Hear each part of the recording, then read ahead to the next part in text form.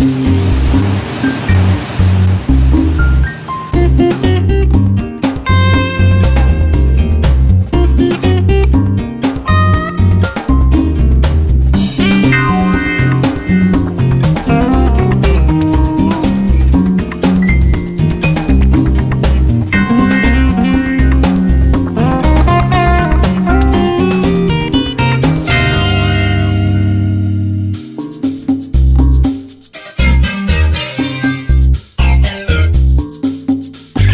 and his teachings now available in India.